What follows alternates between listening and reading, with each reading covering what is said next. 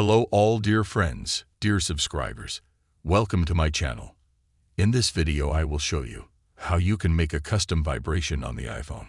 That is, to come up with their vibration, so that when you call someone or come CumSums you have it vibrated as you want.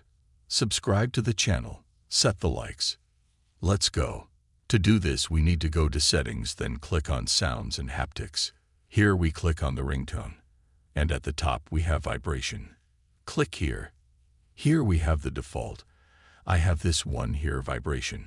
You might have some of these. But if you want to make your own no vibration, custom vibration, you click here, create new vibration. And after that, here you click like this. 1. 2 you see is going down the slider. You can click a few times. You can make up your vibration. And after you're done here, all you press save. And you will have your own custom vibration on phone calls. Subscribe to the channel, write comments, like likes who like this video. Thanks all for watching. Bye everyone.